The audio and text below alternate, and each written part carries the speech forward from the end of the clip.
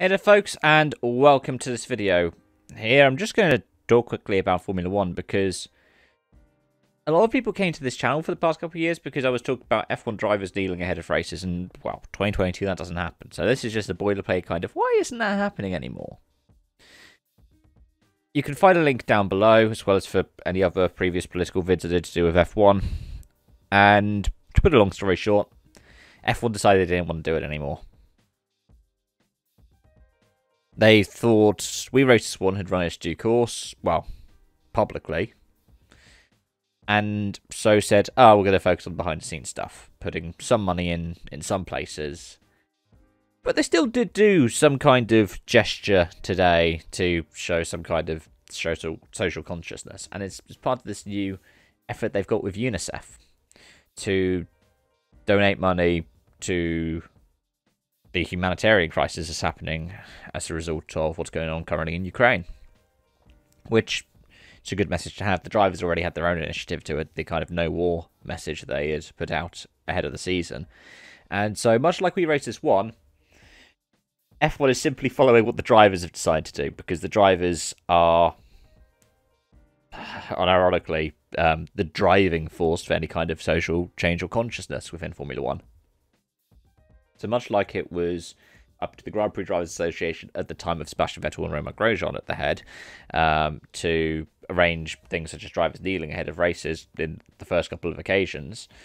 Um, it's been because the drivers at F1 have looked at doing something like this. And to be fair, when it comes to talking about the ongoing conflict or special operation or war, however you choose to describe it, it has been declared almost as a war by both sides. It is still being touted in the Russian press as a special operation, and um, in addition to that, it is seen as a conflict. It is a conflict. You got two nations in conflict with each other. Um, yeah, this is the most F1 can do without being seen as partisan. UNICEF is non-partisan, or as much as it can be, and it's focused on the humanitarian angle, which, if you're an international organisation, is the most you can do, really. Talk about the victims of war rather than the war in and of itself. Now, you could easily say, should F1 still do this when they race in Saudi Arabia? That's a good question. Especially considering the ongoing military intervention in Yemen by Saudi Arabia. You could say the same thing about Azerbaijan and Armenia. You could say the same thing about places like Turkey. Um, there, there are a lot of places F1 go to where you can talk about it, and I think it's right to.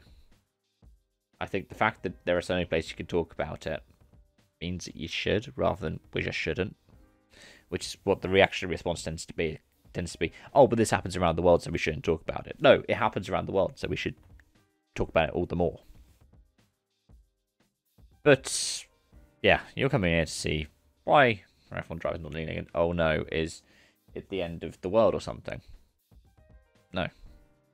F1 was never going to be a driving force for change. In fact, the bigger changes that have happened in regards to diversity and inclusion in motorsport have happened as a result of the likes of Sir Lewis Hamilton, through pressure by him, Mercedes, and through initiatives that are championed by like Sebastian Vettel.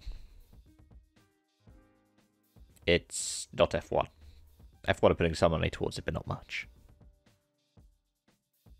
They're putting some opportunities in there, but not much. But then, this is the world we live in. And if you want to see this change, if you want to see this change happening in the world, you want to see these kinds of things happening for forces for good, the best thing you do is continue to apply the pressure.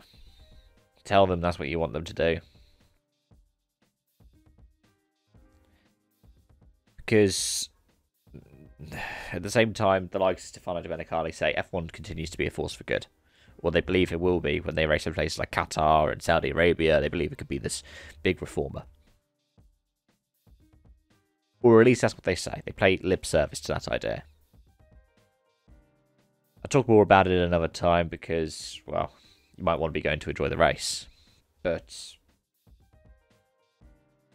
F1's not doing that.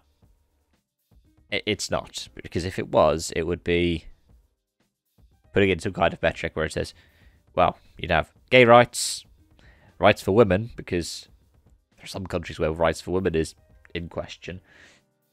Uh, rights for refugees, you'd say that they're not in an ongoing conflict, um, being identified as a special operation or as a full blown war. And there would be a lot of countries that fail it. But if it really wants to be this kind of force for change, it says you sign up to this charter if you want to hold a race. And those are my thoughts. And as always, thank you for watching.